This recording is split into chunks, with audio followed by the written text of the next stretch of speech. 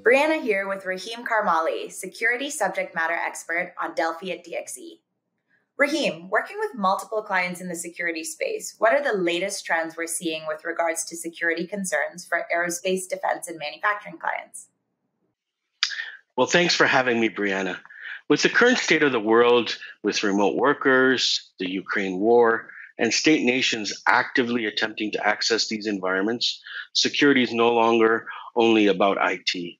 Our customers need end to end integrated security solutions to protect their enterprise, ensure compliance, and become more cyber resilient. What are the challenges clients face that leave them open to security threats and are often left unaddressed?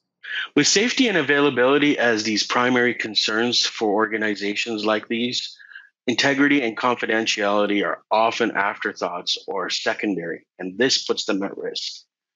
Asset discovery, and management of them are themes we often see with these organizations. Not having visibility or context to these assets and their associated vulnerabilities increases risks exponentially. We can't always use traditional tools to crawl the environment, as this can impact production or manufacturing. So organizations need to keep architecture open and not dictate specific tools or processes that are more suited for IT versus OT. Thanks, Rahim. Could you share some of the ways our clients can ensure that OT and the factory floor are adopting security measures without having production or productivity negatively impacted? That's a great question.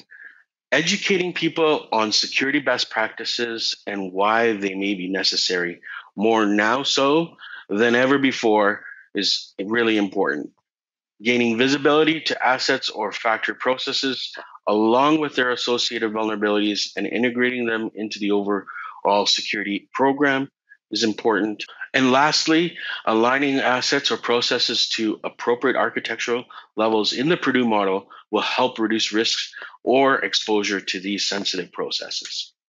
Thanks for touching on those key points. Last question for you.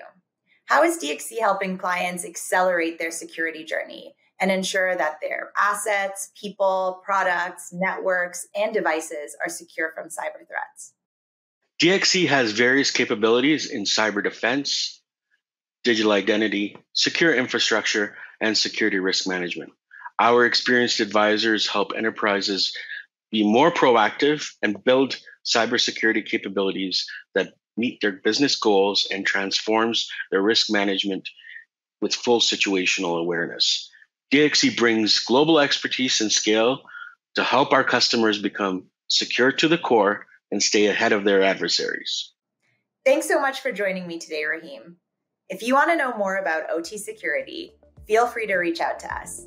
See you all next time on Delphi at DXC.